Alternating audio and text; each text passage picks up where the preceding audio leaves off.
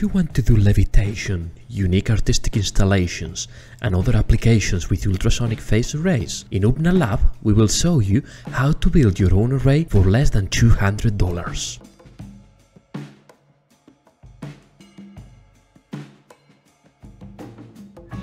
Check that your PCB was manufactured without shortcuts in the 5V rail or in the 18V rail. Clean the stencil with isopropyl alcohol. Put other boards at the sides and tape them. Put the stencil on top and align it so that only metal paths are seen. Tape the stencil to the PCB. Apply solder paste and spread it with single move using a razor or a card. Check some tutorials on SMD if you've never done it before.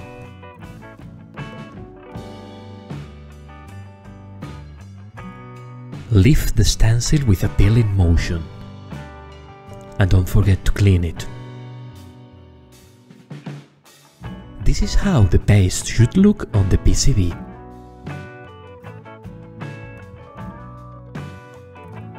Now it's time for the pick and place. Start by placing the MOSFET drivers, careful with their orientation. We place the shift registers, again, pay attention to the orientation. And we finish with the ceramic capacitors, for them orientation doesn't matter. Don't panic, this process will take you less than 2 hours. Bake your PCB using the profile indicated by your paste. A properly baked board looks like this. Check that there are no shortcuts on the power rails. If you have a shortcut, you can check some videos on how to solve them.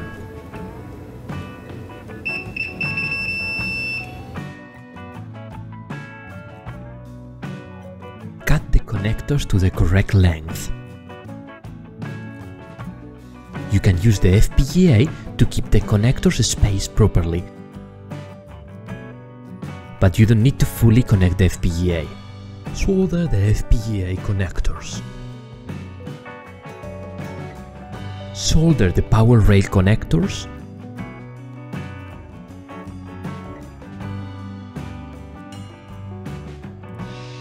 the ports and the DC barrel.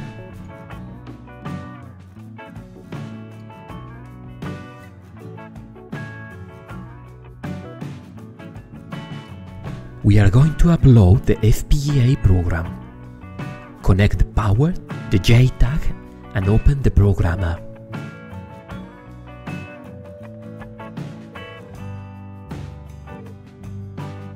Select the neutral jig provided file, check Program Configure, select your programmer and click Start. When it finishes, you can switch off and on your FPGA. L4 should be blinking. Connect the FPGA, paying attention to its orientation. You can check for shortcuts again. Provide 5 volts into the 5 volts rail and around 9 volts in the 18 volts rail. Get ground for your scope and check that each channel is generating a 40 kHz 9 volts peak-to-peak signal. If the signal is 3.3 volts peak-to-peak, there is a problem with the driver. If there is no signal, the problem can be with the driver or with the shifters. We put a laser cut spacer so that the transducers sit flat, but this one is not completely necessary. Put all the transducers. You can mark the polarity now or calibrate later. It is okay if a few channels are broken. Carefully flip the board using a rigid plank, like an omelette.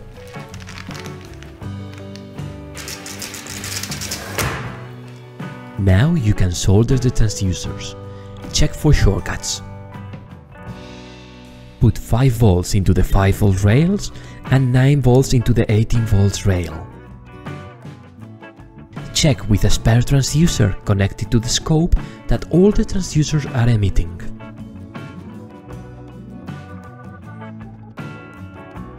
We will use the Arduino as a cheap USB to serial converter. Provide power.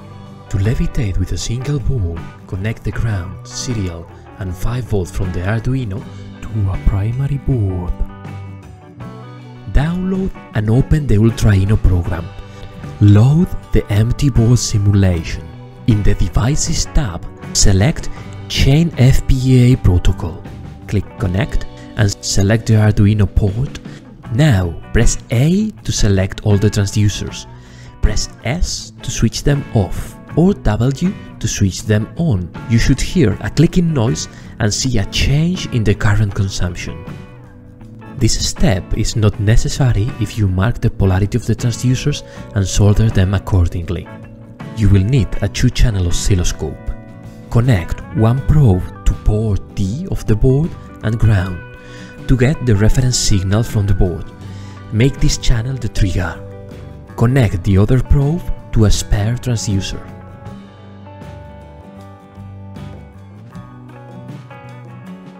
With Ultraino running and connected to the board, select the first transducer and switch it on. Put the probe on top of it and you should be able to see the reference signal and the received ultrasonic wave. You will need to adjust the phase, peaks to peaks, using the keys H, J or K. When adjusted, press M to go to the next transducer calibrate all of the transducers. You can assign the calibration to the simulation file or export it to other programs. Apply your calibration only in the FPGA or in the simulation, but not in both. You can compile your new code. It will take a long time you can convert your code to JTAG format. Select JIC EPSC 16 Cyclone 4E EP4CE6 Select the previously generated SOF file. Click Generate and use the programmer to upload the generated file. Put the board above a surface with a separation of 16 centimeters. Add the slice at 16 centimeters.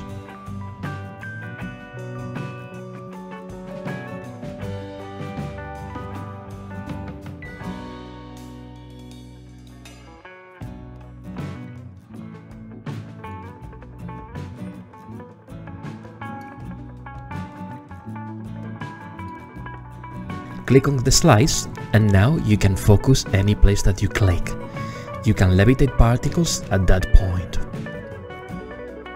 For multiple points you need to select a complex algorithm.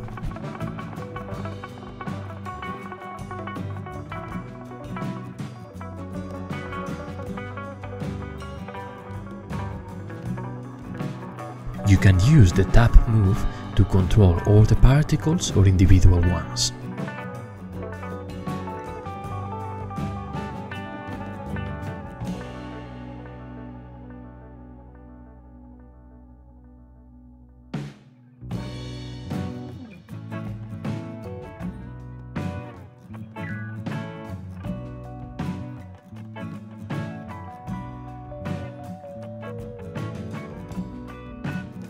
You can use a primary and a secondary board together to levitate in 3D. Use the supports provided and connect the boards as shown in the schematic. Load the simulation file called 2Arrays. Connect and test that you can switch on and off the top board and the bottom board individually. Add 4 points and create traps there. You can use a ruler to place the particles at the right height. The points can be moved in 3D. Thank you for watching and keep posted for more content.